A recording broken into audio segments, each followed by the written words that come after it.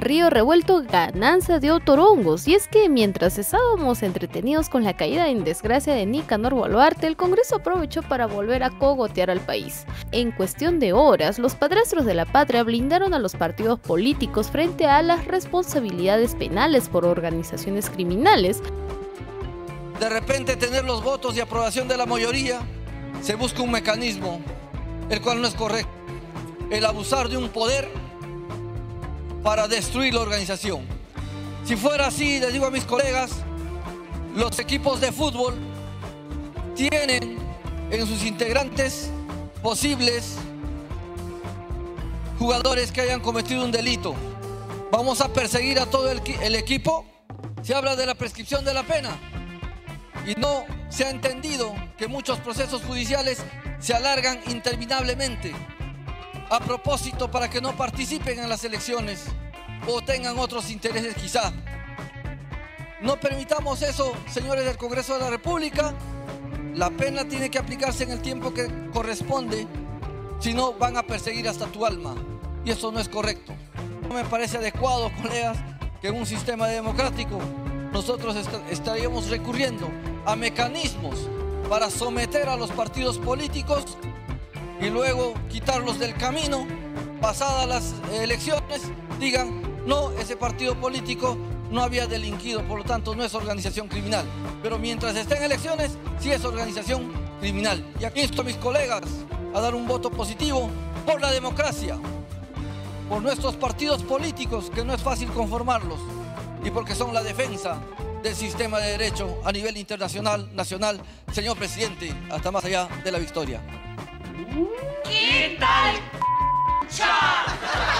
A rellenar la Junta Nacional de Justicia con candidatos de bajos puntajes, meter uña en las elecciones regionales y abrir de par en par la puerta de la corrupción en las contrataciones del Estado. Los votos a favor de estas casi leyes unieron a Fuerza Popular, Perú Libre, Acción Popular, Renovación Popular, Avanza País, Somos Perú, Alianza para el Progreso, Bloque Magisterial, Podemos y Perú Bicentenario, mientras que los únicos que votaron en contra fueron los parlamentarios de Cambio Democrático, Juntos por el Perú. Acuérdense de ellos para las próximas elecciones, para que esos partidos mafiosos no vuelvan a pisar el Congreso o Senado. De ustedes depende.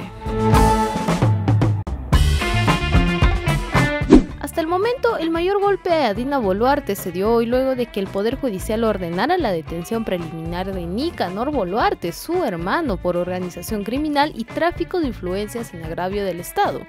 También se encuentra en la lista ocho detenidos. Mateo Castañeda, abogado de la mandataria, además ordenó la incautación de estas personas tras ser detenidas por un máximo plazo de 10 días. La operación Valkyria Jerico por el caso Los Huayquis en la Sombra, EFICOP y un grupo de agentes de la DIVIAC allanaron más de dos docenas de viviendas e incautaron bienes.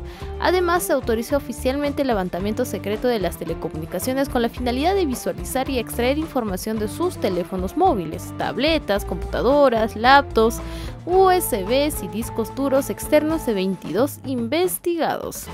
Nosotros seguiremos trabajando sin descanso para nosotros no hay sábados, domingos o días feriados o incluso si estamos enfermos, ahí estamos al pie del cañón para seguir trabajando por los más de 33 millones de peruanas y peruanos.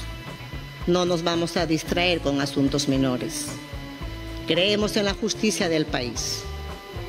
Creemos en la razonabilidad de los que administran la justicia del país. Y en esa línea este gobierno seguirá apostando por la democracia, por respetar nuestra constitución y por hacer más grande nuestra patria. Golpe a Dina, que estuvo a cargo del juez Richard Concepción Carguancho.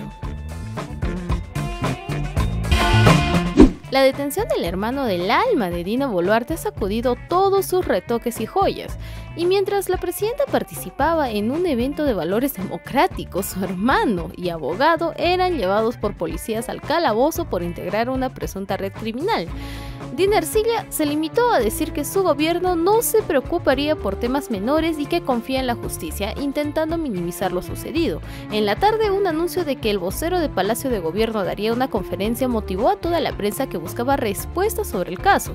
Sin embargo, el vocero oficial no dijo absolutamente nada, a pesar de que se lo preguntaron una y otra y otra y otra vez intentó desviar las preguntas, afirmar vagamente que él no tenía potestad de hablar, entre otras respuestas que solo aumentaron la indignación de la prensa y del país entero. Expresarle a nombre de en gran parte de la población que en realidad nosotros aquí estamos en vano.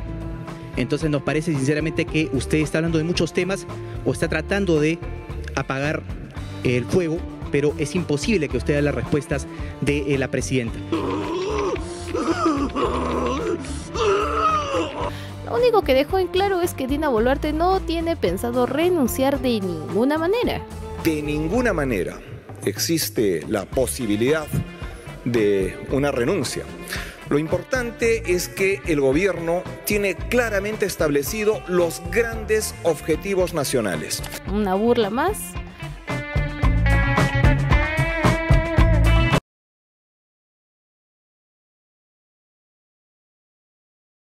fue todo por hoy. Si deseas saber más de esta y otras publicaciones, visita nuestra página web o nuestras redes sociales.